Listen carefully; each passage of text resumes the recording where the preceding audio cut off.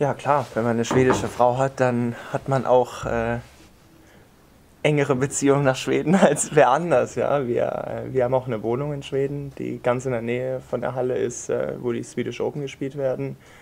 Ähm, Jennys Familie, Bruder, mit dem ich ja auch äh, ja, sehr gut befreundet bin, die kommen alle nach Heimstadt, äh, kommen allerdings erst am Freitag, äh, am finalen Wochenende. Deswegen hoffe ich, dass wir da noch gut dabei sind, um uns zu unterstützen. Und äh, es ist natürlich immer schön, auch äh, Familie äh, vor Ort zu haben und Freunde, die einen unterstützen. Und das, das gibt sicherlich auch mir und dem ganzen Team irgendwo Auftrieb.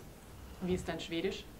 Ja, ähm, meine Frau sagt, es ist dir nicht wichtig genug, es gut zu lernen. Ja? Sonst äh, ist es ja eigentlich keine schwierige Sprache und wenn man sich ein bisschen mehr Mühe geben würde, dann könnte man das auch äh, in absehbarer Zeit erlernen. Aber es ist, ich könnte mich schon durchschlagen, aber es ist zu wenig nach, äh, nach acht Jahren Beziehung. Man muss sich mir selbst auf den Schlips treten, ja.